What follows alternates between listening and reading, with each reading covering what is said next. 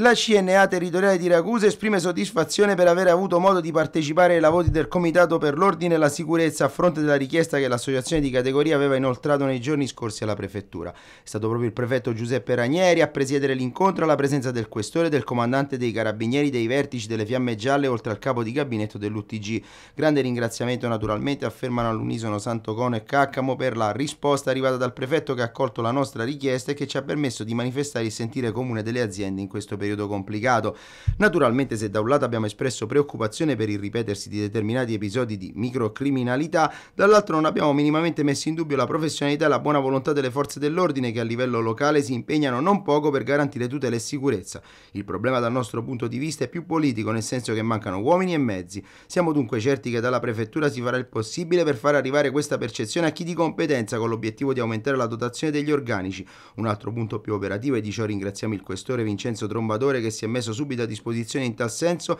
è quello che vedrà impegnata direttamente la stessa autorità provinciale di pubblica sicurezza a convocare nei prossimi giorni dei tavoli tecnici con le associazioni di categoria nel tentativo di attivare sempre più azioni di sensibilizzazione sul territorio. A noi della CNA preme far sì che le aziende non si sentano abbandonate, la strada presa sembra quella giusta in quanto è vero che i furti ciclicamente si ripetono, ma è altrettanto vero che in questo momento complicato la percezione per le imprese sembra essere molto più estesa rispetto al fenomeno esistente. Grati dunque che la nostra richiesta sia stata presa in considerazione con lo spirito di collaborazione e condivisione che è l'auspicio che aveva caratterizzato la presentazione della nostra istanza.